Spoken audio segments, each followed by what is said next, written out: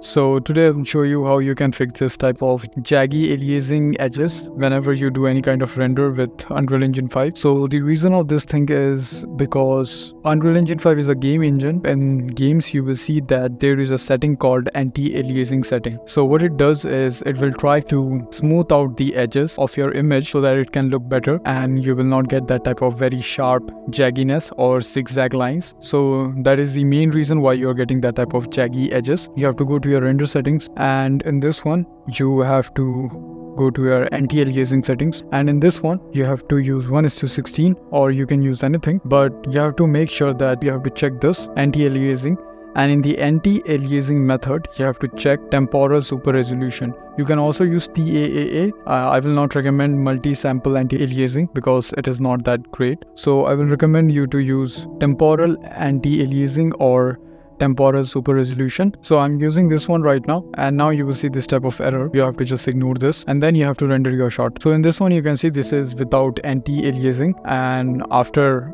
using TSR it is giving me this result. So you can clearly see the difference between these two. It is clearing all kind of noise and jaggy edges and everything. You will lose some kind of details in your sharp edges because it is kind of blurring out your edges. So that's why you're getting this type of clean look. And yeah that's it for this tutorial. I think this will help you. Thank you for watching